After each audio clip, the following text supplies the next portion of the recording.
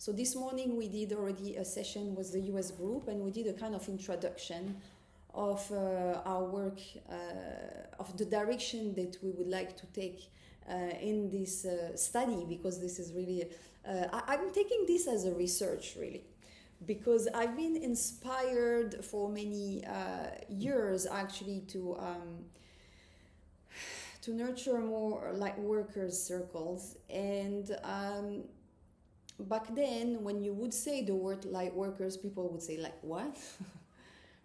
Even people that are like initiated that are in this uh, domain for a long time they would not necessarily understand what the word light work means.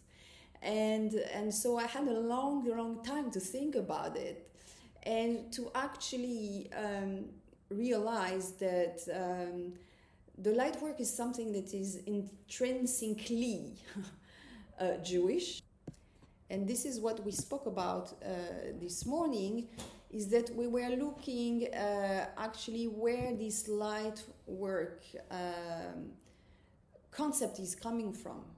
Um, so the light body of Adam was going to enable him to be basically a darkness transmuter. Now we are uh, given the content of the information of the light work through the Torah, but uh, of course the Torah has many layers. Uh, we have the you know the Pardes, the Pshat, Drash, Remez, and Sod. And for people who really want to understand the content of the, the, the mystical aspect of this light work, it's important to tap into the last layer, which is the layer of Sod, which is Kabbalah. Now, the thing is that um, the direction that Judaism has taken, unfortunately, with with uh, diasporas and you know the history, the course of history, the the, the way we know it happened, a, a lot of this uh, knowledge and ancient wisdom has been uh, kind of lost in a way because um, you know because for some reason kabbalah was not taught as much as it used to during uh, before before the diaspora. But uh, now you know there are many ways to recover this content and to the, the and to to, to, to be able to do this light work, the most important is that to be able to do this light work, we need to actually uh, take care of the light vessel. Okay? So, most of the uh, Torah guidelines and the prescriptions that we are actually receiving in the Torah, they are actually meant to uh, take care of the light vessel to take care of the integrity of the light vessel, that the light vessel will remain uh, proper in order to be able to channel the proper um, frequency and nurture the proper connection that we're supposed to have with God, which is supposed to be, as we saw this morning, but you will uh, hear it in the video. Uh, is that the connection of Abraham and the descendant of Abraham was supposed to go through um, a divine manifestation that comes through the name Avaye, Yud He and not through the name Elohim, which is the connection that the, the nations are supposed to entertain. And so it doesn't mean that, okay. And so basically, what we uh, need to do is to take care of this light vessel and the moment this light vessel is uh, actually um, restored, the, the, the integrity of the light vessel is restored, we are going to be able to channel again this light and reestablish the balance. The fact that God created uh, space for darkness in this dimension, it came with many rules. One of the rules is that we cannot, God cannot interfere by preventing darkness actually to create disorganization. But what he did is that he created uh, some security system to make sure that there would be always actors that would maintain the balance between light and darkness. And the, the actors that are part of this security system are the Bnei Adam. The Bnei Adam, are, when they are actually channeling the divine light on earth, they are automatically equalizing the level of darkness and light. So the, the, the security system that is put in place to prevent the darkness to, to completely take over is that uh, there are some human beings that are implemented within the, the, the planet that have the power to contain a lot of light. They are light containers. And if they are calling upon the light, in that case, it doesn't uh, mess up with the rules of the duality paradigm that God has established for this dimension. In that case, it's not called a divine intervention, it's a human intervention. And we have the free will to decide that we want that intervention.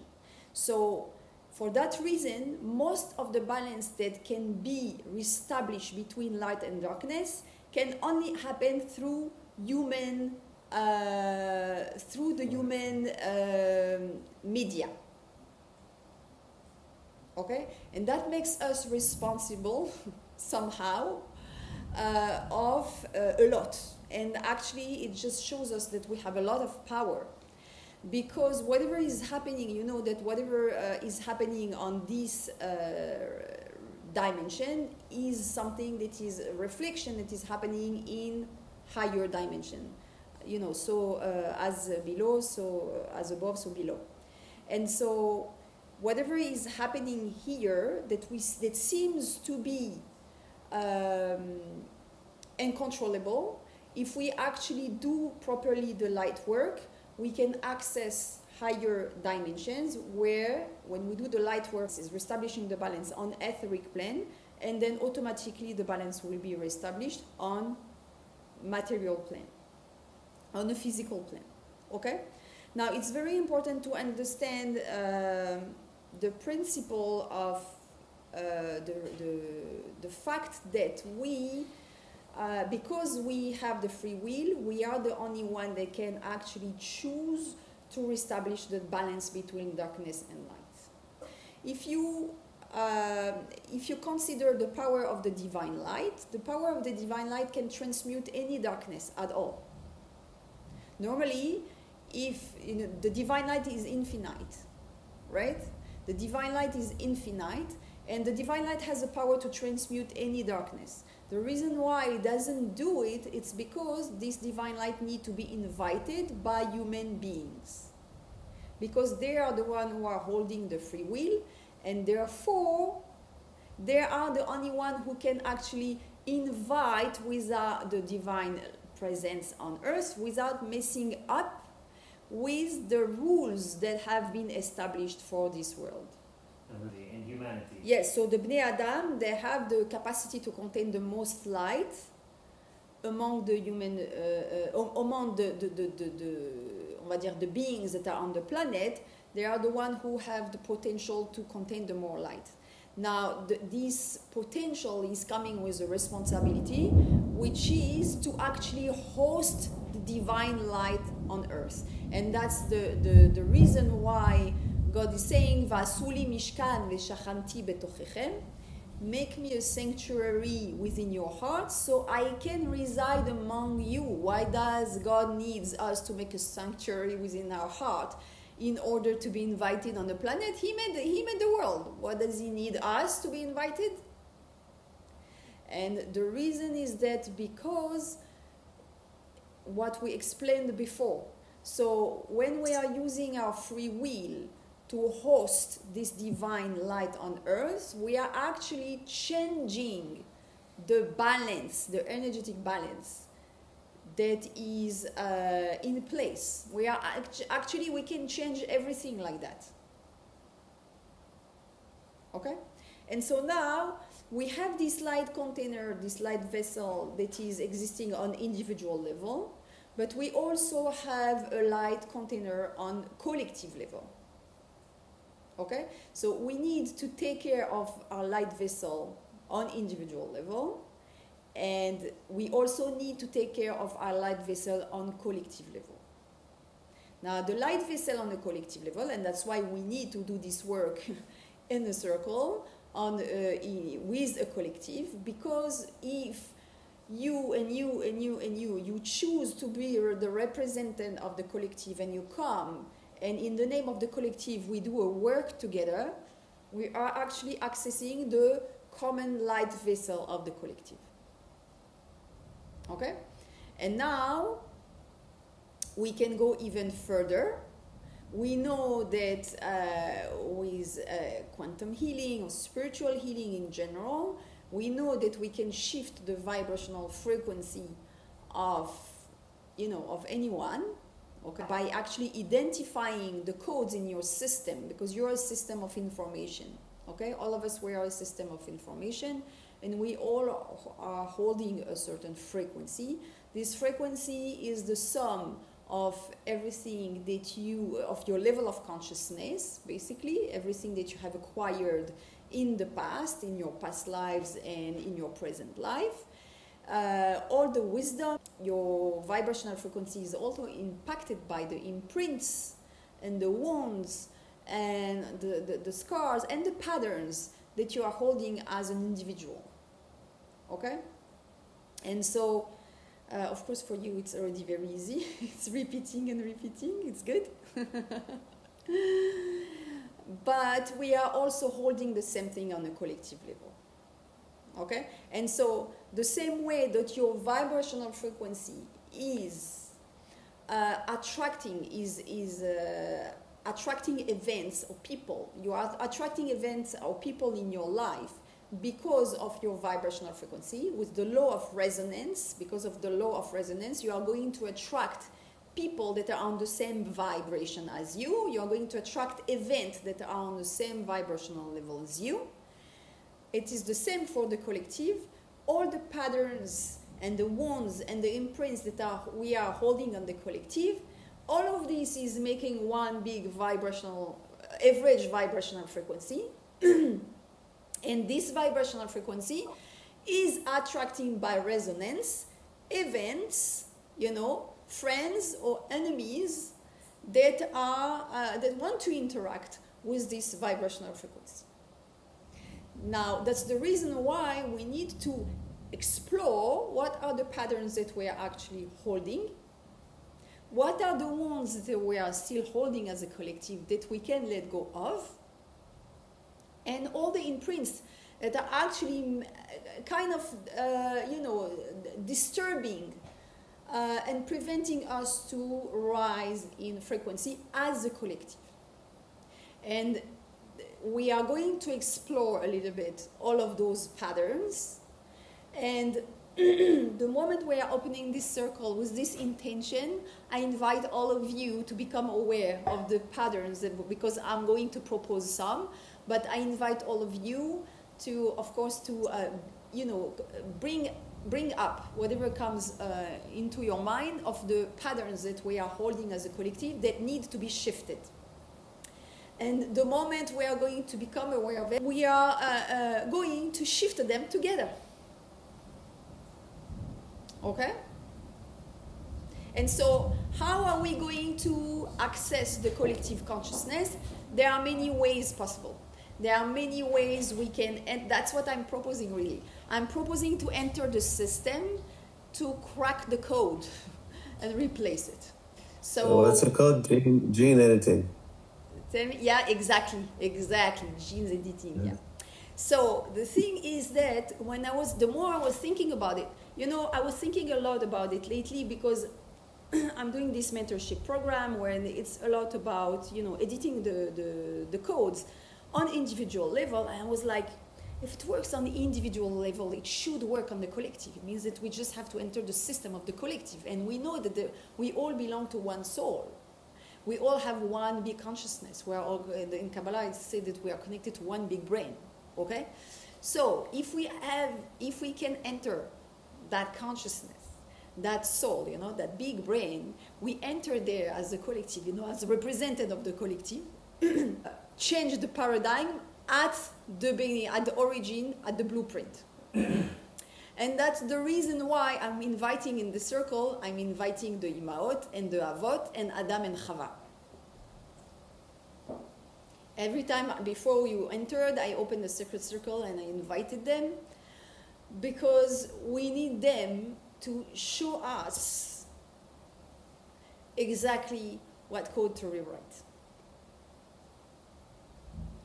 Okay? Now, by exploring a little bit, you know, the, the, the Tanakh, the Parashiot, Bereshit, Noach, Lech Lecha, Vayera, Chayei Sarah, Toldot, actually all the, all the Sefer Bereshit until now, we can see a lot of information a lot of information about the patterns that are that we can already so sorry about that i know what happened today.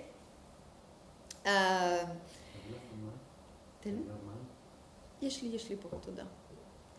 so um, we are actually we can observe many uh, different patterns. Uh, i was observing the pattern of justification you know, this need that we have to justify, that we have a place, that uh, we have the right to exist, that we have, uh, that we are good people, that we are not stealing anything, neither the resources, neither the land. Uh, all of those uh, uh, patterns, because those are patterns. This is something that is repetitively going on, ongoing. That we feel being we feel being accused. We feel that we need to uh, that we are judged, and whatever we are saying is not going to to be believed. All of those patterns we can actually find the code, the beginning, the origin where it's actually written, okay, and shift them. All of us, when the events happened, we were actually, our soul was there and our body was here, and that was also one of the reasons why we were feeling uh, numb and we were feeling like completely uh, unable to do anything it's because actually our soul was there and was living this event with the collective. And um, but um, it's very important actually in order for you to do this work to uh, actually call back the maximum of portions of soul where you are because uh, you actually need the power of your soul at home, where you are, within your body. And so, of course, you can leave a little spark there that uh, gives you a report of what's happening energe- energetically. But it's very important to to um, to really call it back now, wherever you are. So now you're in Paris, you call it back in Paris. You know, you want to leave one percent there, leave one person there, but call it back here. Otherwise, you won't be able to do anything. And so, for all of you that have other parts of your soul anywhere else, same, call it back. Uh, and the way to call it back would be just, you know, I call back all the part of my soul right now within, within my body because I need you at home right now. And so that could be a part of your soul that is uh, stuck somewhere in the timeline or that could be in a geographical uh, location. It doesn't matter. I think it's incredibly draining to keep that tether when Yeah. when a big part of that's like what Milena is saying about because I feel it so powerful. I've never felt it so strongly that the weight of the tethering itself, like the connection between two fragments of, of us, that is one is there and one is wherever you are, but the the bandwidth of that is actually a huge uh, tax of energy. Yeah. I feel it. It's like draining. Yes, because you are maintaining, you are, you are always like in, in between two different frequencies. You're there, you have to adapt to the frequency there, and you're here, you have to adapt your, to a frequency here, and you're always like in a state of self regulation when you need to adjust, adjust, adjust, adjust, adjust, and of course, it's draining. And so, for that reason, uh, it's very important to not do that when you are in a period where you are recovering your energy. So now, if so, what you can do in general is to call back your aura, to retract your aura with the intention to retract it, you know, You just emit the intention. That I said that my intention is to retract my aura now. You retract it, and then when you need for some, you know, you need to tune in to whatever is happening outside because you need to, you know, take some use or whatever. You can ex- expand again your aura, and when you are expanding, actually you tap into what's happening there. But you cannot do that constantly. you cannot do that. Uh, uh, yeah, you cannot do that constantly. You have to do that when you decide to do that. You say, "Hey, right now I'm expanding. Okay, this is happening. Okay, now back to contraction." Okay. Can I ask you, Yes. how do you do that if you have if you have somebody you love so much there? You feel so so there. You know, it's I can't imagine doing it. It's painful. Yes, uh, I know what you mean, but the problem is that um, if you're losing your energy uh, and you're not able to actually do anything interesting with this energy, is it a nice way to to invest this energy? That's just a question you need to ask yourself. Do I want to invest my energy like this? And so, learning to regulate your energy when you are in this period, it's something uh, it's very important to speak about. Even before you know starting to speak about patterns and about theory and about all of this, is really to speak about how to maintain a, a high uh, vibration. And there is also something that I would like to uh, mention because we, we spoke a lot about uh, in our mentorship program. We spoke about a lot about um, when you feel bad, how can you feel good when other people feel bad? How can you be happy when others are unhappy? How can you uh, think of uh, things that are, you know, tafel when uh, some people are going through uh, very hard uh, trouble? And so we, we were, we were, you know, um, we were mentioning a lot. Uh, we were mentioning uh, this this work about deciding how much how you want to invest your energy, but also I wanted to add something I couldn't uh, add in this group is the concept of nose be'ol im chavero. The concept of nose be'ol im chavero, whether you are uh, uh, whether you have this this uh, knowledge about you know this J- Jewish concepts or not, this um, this is very uh, embedded in your in your co- unconscious because this is something that your ancestors have been carried. It is in our collective consciousness. The concept of be'ol in chavero is to carry the the weight of your friend. You know, if you see your friend uh, I don't know how to say that in a good English. If you see your friend like feeling under the weight, uh, like he's carrying, you know, something very heavy, you go and you help him carry that. Okay? So that's a Jewish uh, concept that's in the Torah, like, you know, the, the- that's a mitzvah to go and help your friend to carry the weight. And because of that, um, let's say that we are we are taken to um, places that are actually not exactly right. What is it? Wha how can you be? How can you actually honor uh, this uh, concept without being drained yourself, and uh, while spending wisely your energy? That's a question that is very important to ask, because if you feel guilty to rise your vibrational frequency. Now we are in the month of Adar and we're supposed to be joyful. Okay? Mishen Nichnas Adar, Marbim Besimcha. How can we be joyful when, you know, some of our brothers are still uh, in, uh, are still uh, abducted, you know, are still uh, prisoners, uh, when uh, so many uh, people are still suffering from the consequences of what happened, and it's still very raw and it's not finished. How can we cultivate joy in this case? You know, let's imagine that you have it all good, you're safe in your house, you haven't been disturbed by anything. Will you feel guilty being joyful now? Are you able to feel really 100% joyful? מרדכי, תגיד לי. Are you able to be joyful?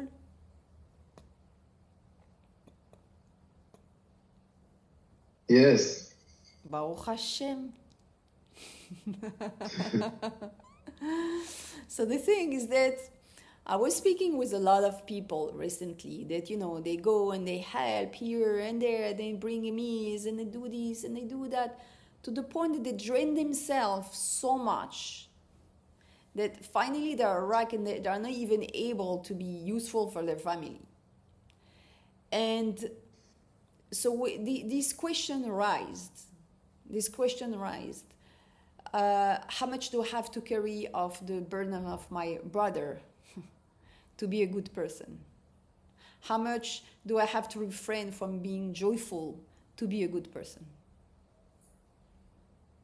to be a considerate and uh, you know a, a, you know considerate human being empathic human being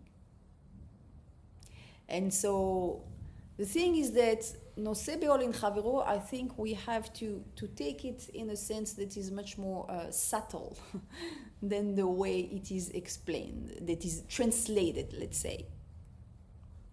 And um, first of all, something that is very important to know is that when you keep your vibration high, everybody knows that when you keep your vibration your vibration high, you are actually serving the collective because through you, through you, the light can enter and you can be a transmuter. You cannot be a transmuter if you are sad, if you're holding low vibrational frequency, if you're holding guilt, if you're holding uh, resentment, if you're holding hatred, all, all of the low vibrational uh, uh, emotion, you know, all the emotions that um, are of low vibration, if you're holding them in your field, you are not able to receive the light.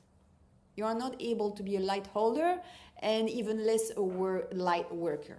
Okay? So the light work cannot be done through you. The darkness cannot be transmuted through you if you keep low vibration in your field. I, I feel, can I answer that? Yes. Yeah. Um, I, I feel like the words I, that Shalva is saying, I feel just to just to share from like Yes. for myself. I, Yes. I feel like it's for me. It's not theory. It's in practice what I've been working on the last few months. When when the war broke out, um, I don't. I was in Israel during that time, and everyone was just going volunteer. And, and deep inside, I knew that I wasn't supposed to volunteer. I was supposed to go to Bali. But the guilt of not doing the right thing just made me completely numb to a point that I was sitting on the bed doing nothing and saying I'm feeling guilty for not going for not going volunteer because I know I'm supposed to, but I'm feeling guilty not going to Bali. Long story, I'm gonna fast forward. When I did come to Bali, I was still feeling guilty for, for not being in Israel.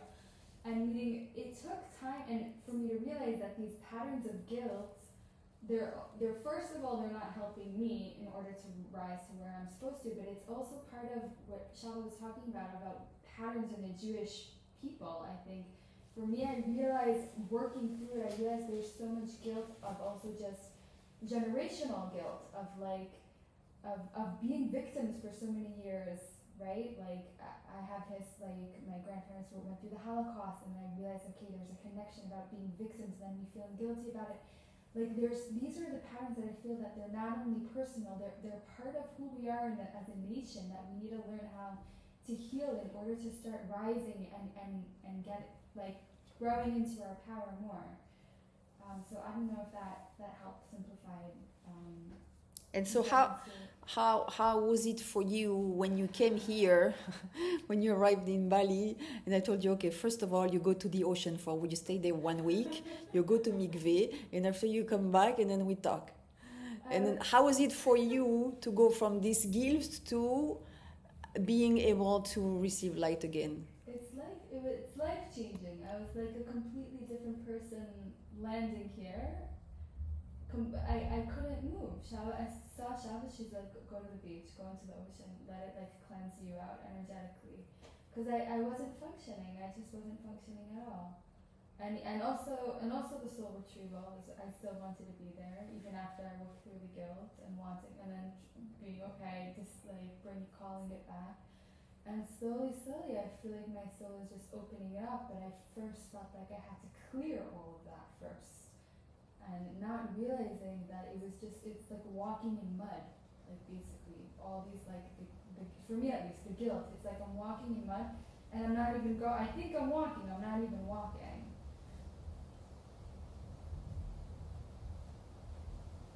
Yeah. So how did you shift the guilt? The guilt.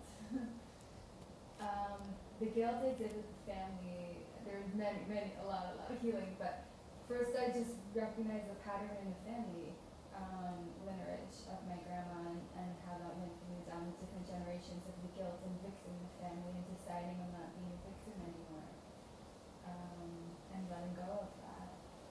Um, and And also, the, the, what about the guilt of not being with your brothers when they need you? yeah. What about this one? you're not letting go. I'm trying to protect myself here, not be as personal. But um, yeah, there's also there's there's many reasons why I feel like I'm supposed to be in Israel right now, not only because of the war, but in, just in general what's going on. And I don't remember now how I shifted that. You remember?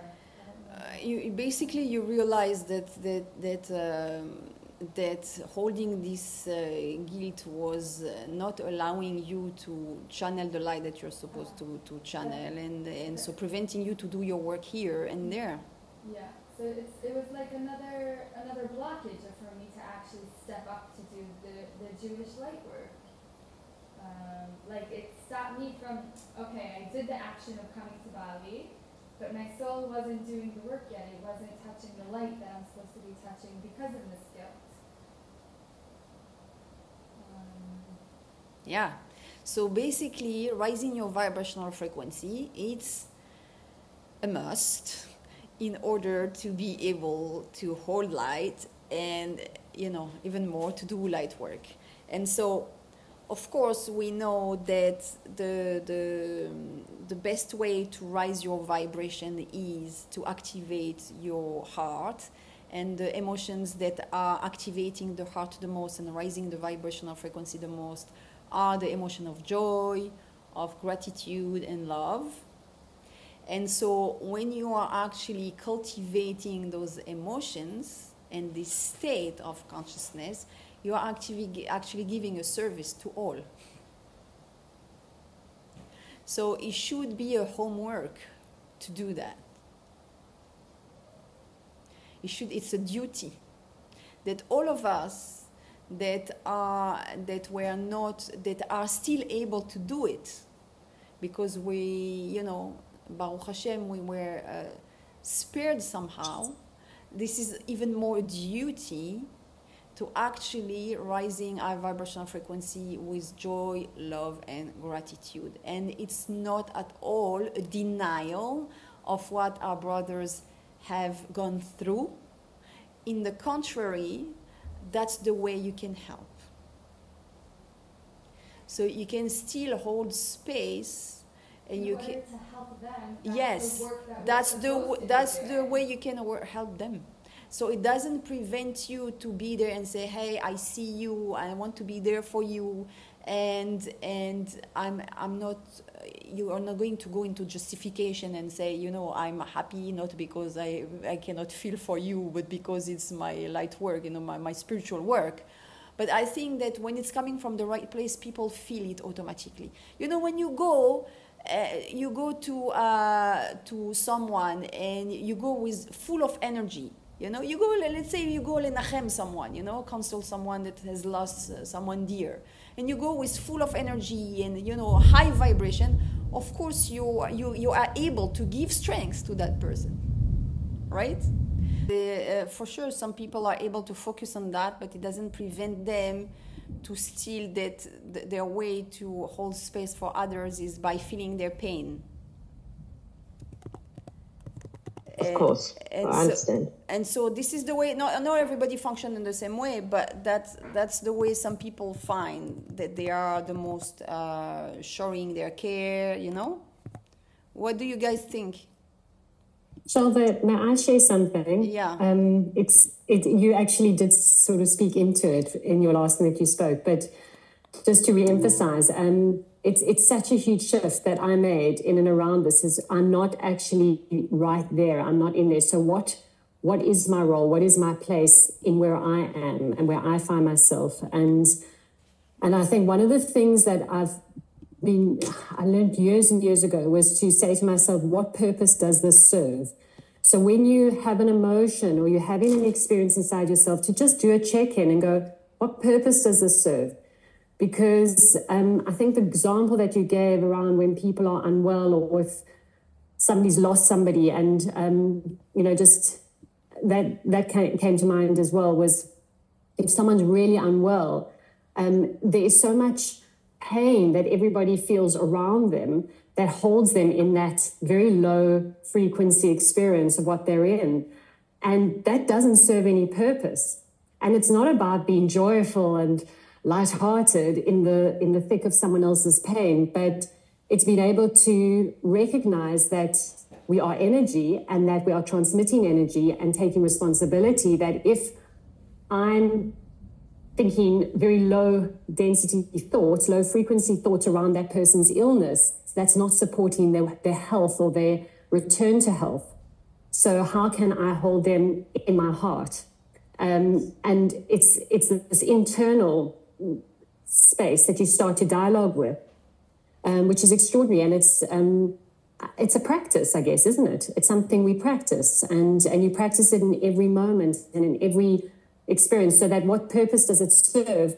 I, I found to be quite a powerful, yeah, kind of bring me back. Mm. Exactly, that's a nice input, and also to ask yourself, you know, if you need to be with someone inside the hall to be able to help, or do you prefer, is it better to be outside of the hall and you know throw a rope to help them coming out, and so so yeah, so that's something to, to really keep in mind uh, today as it's Rosh Chodesh Adar, and we are going to close the circles uh, soon on this note.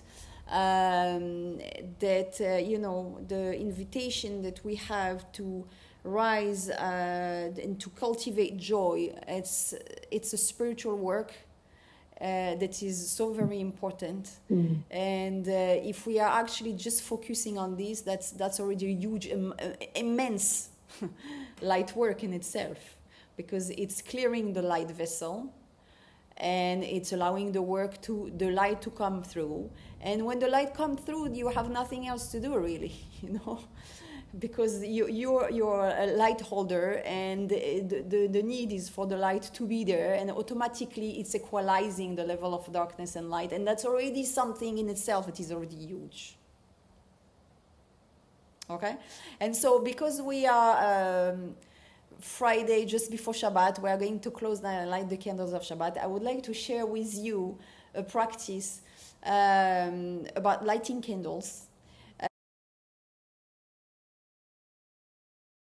and if you're a man and you don't have a, a, a, woman in your house, you can also do it and light the candles. Otherwise, you can uh, teach, you know, your partner or your wife. Um, and it was something that was shown to me while I was lighting the candles already a few months ago, and then two weeks ago, um, it came. Uh, there were more details that came and it was about i will share it very briefly now and i would like to invite you to do it if you would like to. And you tell me next week how it was then maybe we can uh, speak about it even a little bit more. And so that's a little uh, light work uh, uh you know, homework that I, le- I give you, I, I let you with, you know, before we close this. And I, I was shown to go actually when I light the candle to go to the center of the of the of the earth, to go inside the heart of the earth and tune my heart to the heart of the earth. Okay? Tune to the same frequency of the heart of the earth. And once I'm there, I'm doing the bracha, and when I say Baruch Ata Hashem, I'm actually calling the divine light within me. So now I'm becoming a channel. I'm opening a portal through my crown chakra and I'm calling the divine light through me. When you say Baruch Hashem, you're just calling the divine light. And after the sentence that you say after, it's the the, the, the, the mission that you give to the divine light. You're calling the divine light and you give it a mission to do. You give it a direction. And so when you say Baruch Ata Hashem, then the light is already reaching into your heart. And then Asher Kedishanu Shel Shabbat, you send the light is already reached you, the center of your heart and you send it like radiating to the heart of the earth and to all the, the periphery of the earth, like, you know, like a huge uh, light uh, flash that goes to the earth and open the pathways. I will uh, just visualize it opening pathways to the earth and we'll explain more about that next time. Just if you would like to try to do this uh, little exercise, you can tell me about it next week. Okay, amazing. So I wish you all Shabbat Shalom. Share with your friends, that would be nice. You know, the more we share this, the more it will be powerful. That's the goal. Okay? Okay, so Shabbat, Shabbat Shalom. Shalom. Thank you. Shabbat Shalom.